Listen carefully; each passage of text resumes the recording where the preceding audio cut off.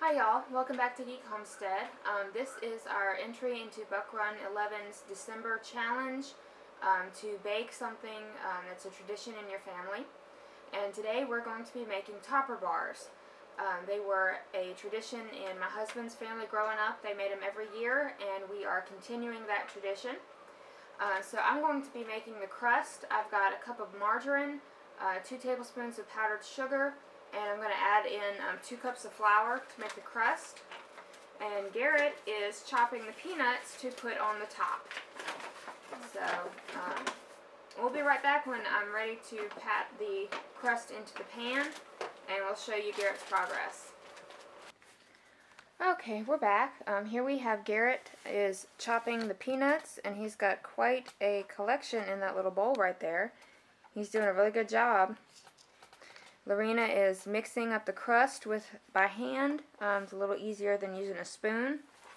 So now it's all mixed up. She's going to start patting it into the pan. This is um, about an 11 by 15 um, baking sheet.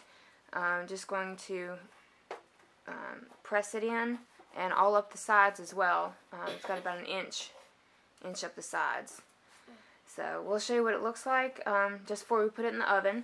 But we're going to bake it at 350 for about 15 minutes until it's um, fully baked. Um, it's going to look dry on the top when we pull it out. So we'll be back in a little bit. Okay, so this is what it looks like in the pan. And we got it pretty well even all the way over and it's up the sides.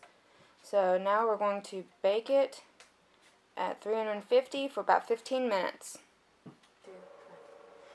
Okay, well we got the chocolate um, all melted. That is the second layer on top of the crust. Um, so we're just going to spread this around. Um, the chocolate is one 12 ounce bag of um, semi-sweet chocolate chips and I put in about um, four blocks of chocolate bark um, um, you can melt and use for can making candies and stuff. And then there's a couple tablespoons of butter I put in here that, that helped it um, melt better. And used a double boiler. And uh, so we're just going to spread this around all even over here. And then as soon as this is spread, we're going to put the nuts on top so they'll stick to it. You ready with those?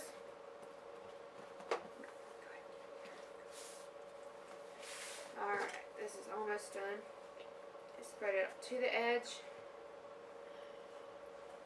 Oh, I'll, Just a second.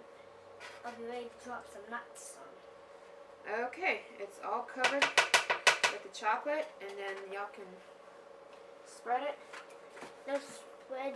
Yeah, sprinkle it on there. Sprinkle it on. Take a handful and sprinkle it on there. Okay? You gonna do some too, Lorena? Yes, ma'am. Okay, let Lorena do some, and that should be about it.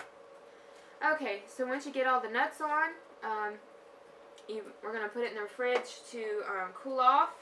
And once the chocolate is hardened again, um, we'll cut them into about one inch pieces and um, put them in a container. Um, you store them in the refrigerator and they will stay fresh um, through New Year's. Um, it's a couple, um, about three weeks away, but they usually don't last that long. Um, if this makes it to Christmas, I'll actually be surprised. uh, we eat them, we eat them up really fast usually. So I hope y'all enjoyed this video, and y'all have a good day.